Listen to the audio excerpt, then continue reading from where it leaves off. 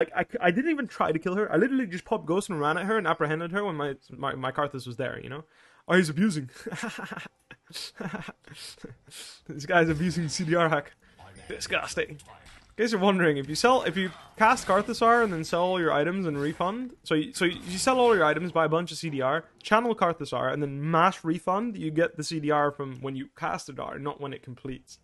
Um, so he gets the damage from the death cap, but he gets the CDR from the cooldown shoes and all the Kindlegems, which is why it's an like I consider it abusing a bug.